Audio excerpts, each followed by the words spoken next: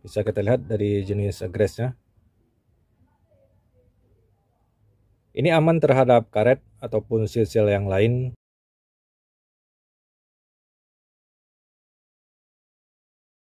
Gemuk atau grass banyak merek ataupun banyak jenis nah, dari kegunaan masing-masing uh, gemuk contohnya seperti grass chassis. Ini bisa kita lihat ini adalah grass chassis. Lithium sintetik, temperatur, dan kalsium.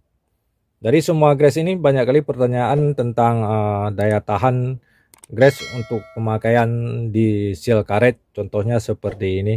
Ini adalah seal. Banyak dari kita belum mengetahui dalam mengaplikasikan uh, grass pada suatu komponen dikarenakan kita menggunakan grass untuk uh, melindungi komponen dari kehausan atau menjaga partnya lebih tahan lama. Bila salah dalam menggunakan grass ini bisa berakibat fatal dan daya tahan tidak akan sebagus yang kita inginkan. Banyak dari kita belum mengetahui ada uh, suatu jenis komponen part seperti uh, seal ini tidak tahan terhadap uh, grass yang pada umumnya dipakai.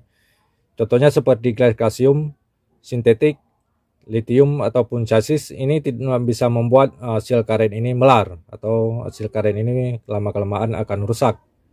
Makanya kalau untuk bagian part yang ada seal seperti ini kita harus menggunakan uh, grass khusus. Contohnya seperti grass rubber grass contohnya seperti ini. Ini adalah dirancang khusus untuk daya tahan terhadap karet tidak akan membuat kalian melar.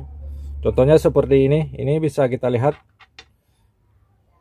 Piston piston cakram dan di sini adalah seal karetnya di sini biasanya memerlukan uh, grass yang cukup banyak dan langsung ditempel seperti ini langsung menyatu dengan uh, sealnya.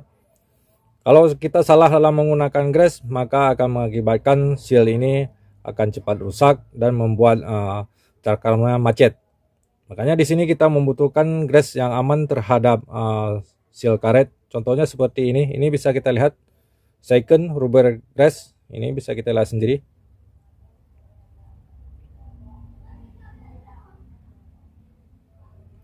Dan ini bisa kita lihat dari jenis grassnya ini aman terhadap karet ataupun sil-sil yang lain makanya bagi kita yang menggunakan grass sebelum uh, mengaplikasikan grass coba perhatikan dulu kegunaan dari uh, grass yang kita pakai ini ini bisa kita lihat ini langsung uh, kita aplikasikan grass Contohnya seperti ini. Dia akan langsung menempel dengan uh, karet. Ini bisa kita lihat sendiri.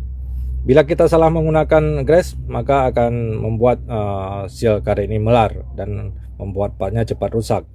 Tapi kalau untuk rubber grass ini memang sudah aman untuk seal karet tapi kalau untuk high temperatur kayaknya kalau untuk seal rubber grass ini belum high temperatur bila dipergunakan untuk bearing ini tidak bisa bisa kita lihat sendiri aman dia terhadap seal karet dan di sini pun bisa kita lihat ini adalah uh, memerlukan grass yang aman terhadap seal karet. Di sini bisa kita lihat sendiri ada sealnya. Dan di sini memerlukan grass yang cukup banyak. Di sini memerlukan grass yang cukup banyak. Makanya kita aplikasikan grass yang aman terhadap uh, garet. Ini bisa kita sendiri.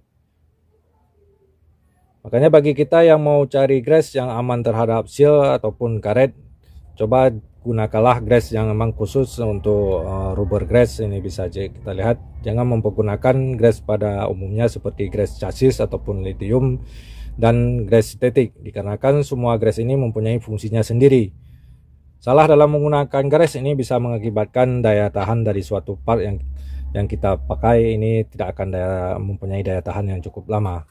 Mungkin hanya ini yang dapat saya jelaskan. Semoga dapat bermanfaat dan jadi pengalaman untuk kita semua